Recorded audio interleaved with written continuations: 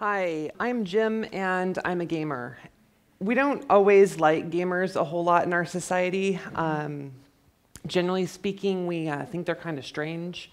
Uh, gamers have just now been starting to get featured in media for the first time in a long time.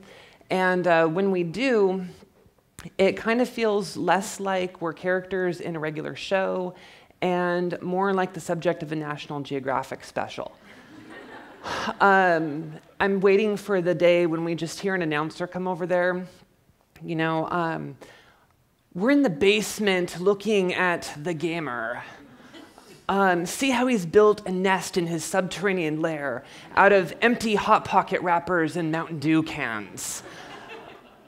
By not showering, the gamer's built an insulating layer of grease that protects him from the rare occasions he walks out into the sun.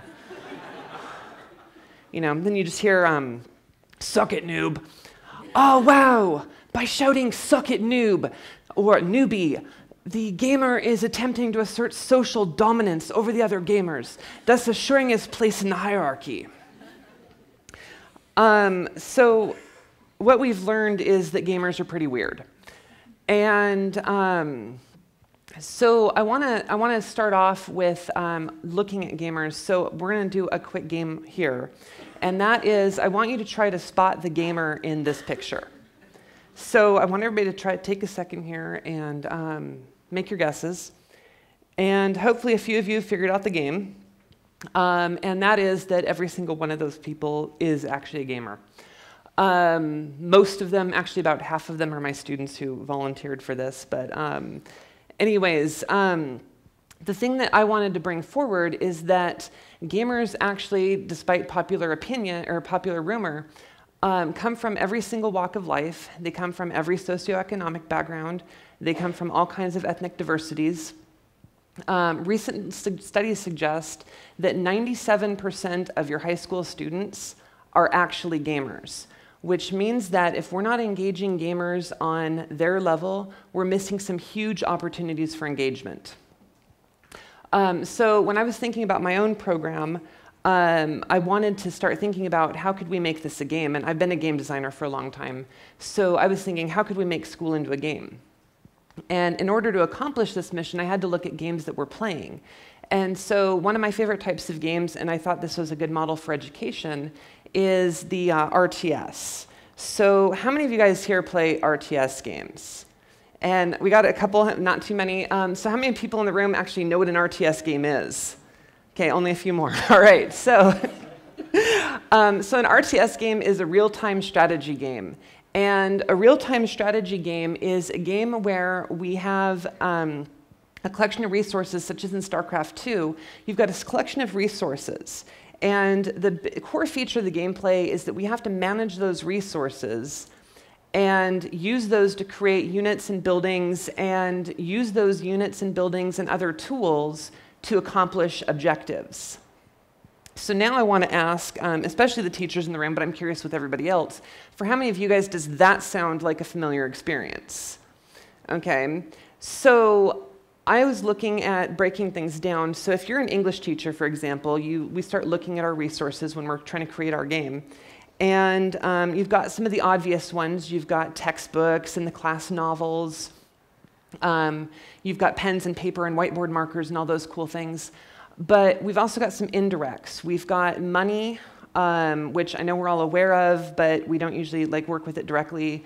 Um, my bookkeeper at my school insists that teachers are like supposed to be allergic to money. We're not even allowed to touch it. Um, so uh, we've got money and we've got things like guest speakers that aren't really ours, but we borrow them from time to time. And then we've also got um, time. And I think time is a resource that teachers are aware of. Um, but one of the things I don't think we realize about time is that we can actually get time back. Um, it's less linear than we think. And so, again, using StarCraft as my example, um, I wanted to look at minerals. So, in StarCraft, minerals is the main resource we work with. And you use those minerals to generate other things, um, buildings and combat units and things like that. And, um, and you have these little things called probes. And probes, if you're playing Protoss, um, probes are one of the things that you can use and you can collect more minerals. The, the thing is, is that in order to do that, you have to build them and they actually cost minerals. So the incentive here is to go, hmm, well, I don't think I need so many of those because that's going to cost me a bunch of minerals. But what the savvy players figure out pretty early on, and the rest of us figure out later the hard way, is that we can take our minerals and our probes and invest them and basically get more minerals by investing a little bit than what we spent. So I want to share two of my time investors, um, and in my way, they're ways of getting more minerals out of my minerals. And the first one is students. So a lot of us think of students as an objective um, and their performance as an objective. And what I like to do is I like to think of students as one of the resources, which is a little bit different way of thinking about it. So one of the first things that I do in my classes is I group my students together and we start assigning challenges. And they compete for Jim Bucks, which is fantastically creative name. Um, I've got a copyright pending on that. Um, and uh, they compete for challenges, but the challenges, instead of having winners and losers and things like that, the challenges are structured so that any student could possibly trigger a win condition. So potentially all 25 of my kids could win the challenge. Now they don't all, all do it, but they could. And what this does is by changing that dynamic, the stronger students have an incentive to help the weaker ones. Because if I'm on a team with a weaker student, if they're not getting winning a challenge, there's less Jim bucks flowing into my into my group. So I'm going to help them get through their challenge, so that way they can um, they can be more successful and I score more points. Um, and so this gets used in a lot of positive ways. First off, it increases peer pressure. The teams start telling kids, no, you need to show up. You need to be here. You need to be doing things because anytime you're not here and not winning Jim bucks, my team is losing points. Um, so we start using peer pressure in a positive way. The other thing that this does is it creates a several different remediation points around my classroom. I'm not the only remediator if there's a slow student. Um, and then the third thing that I love about it is that when we help other people learn, we actually retain it better ourselves, which I'm sure almost everybody in this room, if not everybody, has experienced before. Um, as a programming teacher, I know that I am a better programmer because I've had to make some thoughtful, deliberate choices when I'm teaching it on why do I do the things that I do. So um, using students as a resource is really helpful. The other resource that I like to use is online learning management systems, or L LMSs. And I use Moodle. Um, I know Eastside Prep uses one called Canvas. Um, there's a bunch of them out there. They're all awesome. Um, but you can do two basic things with it. Like any other website, you can use Moodle to um, spew out content and they can read it and they can regurgitate it and all those kinds of things like we usually do. Um, but you can also create assignments on there. And the real power with assignments in an online curriculum system is that as the students answer questions, it immediately gives them feedback on whether they're right or wrong. And there's some real power to this. As, instead of having a situation where um, you're doing 1 through 50 even and you do 25 problems and then you get, you get back to school and you find out you got them all wrong, um, you find out as you go which means instead of learning something wrong 25 times and getting 25 times practice wrong, you get it fixed immediately. You already know whether you're right or wrong. Um, the other advantage to this is it also gives you a sense of a progress bar, and we love progress bars. Gamers love progress bars because it tells us how far we got to go to finish the quest. Um, so it serves as a little bit of an incentive. Now, from a teacher's standpoint, I love this because it also gives me some awesome demographics. My favorite is item analysis. So in the previous example, 1 through 50 even, let's say all my kids had problems with number 4 and then some problems with some of the other problems. Now, normally as a math teacher, you can't go in and say, okay, let's see how well the kids did without extensive work. We can't go, how well did the students do on each individual problem? But Moodle will actually tell you, okay, I did really, they did really well on this, not so good on this, and so you can target your remediation.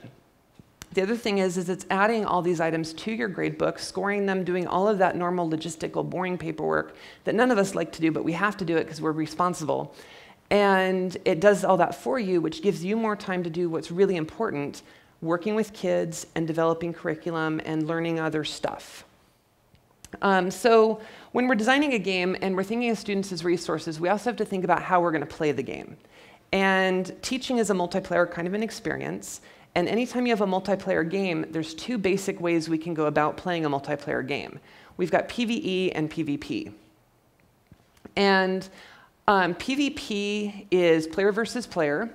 It's games like Mortal Kombat, um, and it's basically where two or more individuals or groups of individuals are competing against each other for some kind of an objective. Um, the other option is PvE, which is player versus environment. These are games like Guild Wars 2, where different types of players work together to try to solve some kind of a problem. Um, and so I decided I wanted a PvE model for my classroom, and I think most of us want that PvE model. Um, the problem in my mind is that um, not all students feel like they're playing a PvE game, even when we're really trying to. And I used to work in an alternative school, and during intake, we used to ask students, Why are you here? Because generally speaking, an alternative school student doesn't come to an alternative school unless they've been un unsuccessful wherever they previously were. So um, most of their feedback actually surprised me because it had a lot to do with staff and um, the way that they perceived their experiences in school. And I'm Facebook friends through my gaming community. I'm Facebook friends with a number of high school students. And I see posts that kind of bother me, and so I'm going to share a few of those. Um, the first one is I hate it when teachers deliberately embarrass you. I hate it when teachers make you feel stupid even when you're trying. I hate it when teachers group kids together that we know won't be successful. Now, in my mind, these three things are kind of sad, and I also feel like they're a little untrue. Um, and it's a perception, it's a truthful perception, but I don't know any teachers that would actually do any of those things deliberately or intentionally. But regardless of our intention, that's the perception. So, what we need to be doing is we need to be working on that perception. So, we need to be working on making our games feel more like a PvE kind of a game. Um, when we're working on our curriculum planning and our teaching and things like that, we're hoping for a class that looks a little something like this. Um, this is completely staged. Uh, we're looking for students who are active and eager and engaged. Um, it took quite a bit of effort to get them to pose for that long. The easier photo was to get this one, which is what I think a lot of our classes start to feel like. Um, and a lot of teachers talk about the cell phone as one of the major culprits in this, and I made sure I got a few of them to do cell phones in their pictures. And there's been a lot of solutions to the cell phone problem. Um, here's one that I also saw on Facebook. I spend a lot of time on Facebook. We may want to do an intervention during the break. But, um, anyways, um, so here's one of them. This is the cell phone caddy. Um, but in my mind, I think that this is kind of a wrong approach. Um, because what we're doing is we're trying to take away the distraction, but the distraction isn't the problem. The problem is, is that for a lot of these kids, they'd rather be in this world. Um, gamers would rather be out slaying a dragon than learning about the Gettysburg Address. And in my mind, I'm wondering why we need to know things like what's the date of the Gettysburg Address? When um, I can whip out my cell phone, ask Google, when was the Gettysburg Address happen, and it'll tell me, and why do I need to know that now? Um, and I think it's important still that we know things like the whys behind things, but sometimes specific facts I don't feel like we necessarily need to know. And I think that cell phones, instead of trying to take them away, I feel like we should be using them as one of the tools. It's one of our resources. Okay, why would we throw out a tool, especially to these students who are technology natives? Okay, they grew up with these technologies. My nine-year-old niece has a cell phone. Okay, it's pervasive, it's all over, and why don't we take advantage of it? So instead of taking away their cell phones, how about we start making them part of the game? Instead of having them be taken away, why don't we make quests where you have to look up and complete pieces of data where the students have to actually use their devices, use their DS, use their cell phone, use their laptop, use their tablets, all these things, and try to recover more information. They like texting. Why don't we create an adventure where they have to text with other people, other students, maybe even other schools, um, adults, people in the, our respective industries, things like that, to actually solve problems or complete challenges or complete tasks. Um, so if we can leverage the cell phones and the technology to make it more effective for our kids, maybe we don't need to take it away after all. And on the subject of those other people, um, I don't feel like my game has enough players because as a game designer, one of our main goals, because that's how we make money, is getting more people to play our game. Now, I'm lucky. I teach at a school where I only teach two classes. We're on a long block kind of a format, so I only have 60 students. And for me, designing a game for 60 players is a little bit small. Um, but fortunately, I'm also career in tech ed. And for those of you who are career in tech ed, you already know about advisory committees. Those of you who aren't, advisory committees are basically a group of people, usually adults, who have some kind of an experience in your subject area. And you use them as a resource to help you develop new curriculum, make sure you're staying on current technology, all those kind of groovy kinds of things. But what I do is I use my advisory committee also as players in my game. So students interact with my advisory committees on a pretty regular basis. In fact, actually, literally right now, while I'm talking to you, uh, my advisory committee is sitting through pitch panels with my students um, because I'm not there today. And so they were like, hey, we'll step in, we'll take over your class for you for the day. So I have a substitute who's sitting in the corner taking attendance, and then my advisory committee is um, actually working with my kids for the day. So what we've done is we've taken the game and we've added players to it.